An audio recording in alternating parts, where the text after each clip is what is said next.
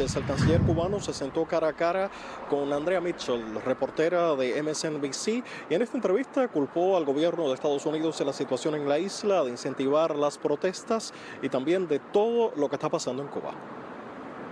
El gobierno de Estados Unidos ha apostado por un estallido social y eso ha sido provocado por el embargo, al crear sufrimiento desesperación para derrocar al gobierno cubano. Rosa María Payá, líder de Cuba Decide, reaccionó a las declaraciones del canciller. Pero es una falta de respeto y un insulto a cada uno de los cubanos que salieron a la calle, que han seguido saliendo a la calle, que están exigiendo la posibilidad en realidad la posibilidad de pelear por sus propias vidas, ¿no? El canciller cubano dijo que las protestas en la isla son instigadas desde Florida y que las de julio no fueron pacíficas.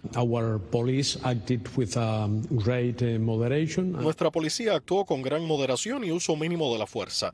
Las personas que estuvieron detenidas fueron solamente multadas por delitos menores. Pero estas imágenes de brutalidad policial dicen lo contrario. Este estilo esquizofrénico de narrar la realidad pertenece a la propaganda del régimen, ¿no? Hay más de 500 presos políticos en este momento, según las cifras que hemos podido registrar. Además de culpar el embargo de la situación en Cuba, Bruno Rodríguez dijo que era una pena que Biden no hubiera implementado su propia política para Cuba y abordó la suspensión de las remesas. Las sanciones son precisamente contra los militares cubanos, contra los dueños del conglomerado militar, o sea, contra los represores, contra los que tomaron la decisión de disparar y matar.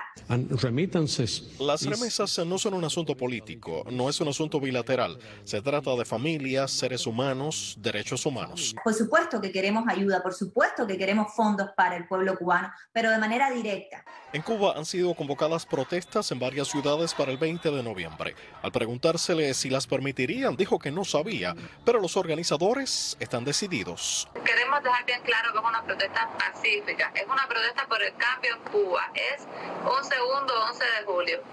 Es pidiendo libertad por los presos políticos, pidiendo un cambio de sistema, pidiendo que Cuba sea libre, elecciones libres, una Cuba democrática verdaderamente. El canciller cubano también dijo que no hay evidencias de que energía o arma alguna haya provocado los síntomas de salud a los diplomáticos estadounidenses que sufrieron los llamados ataques sónicos y que Cuba no tiene restricción alguna para el regreso de diplomáticos al cuerpo de La Habana. Nosotros en Telemundo 51 seguiremos pendientes. Soy Harold Santana. Ahora volvemos a los estudios con ustedes.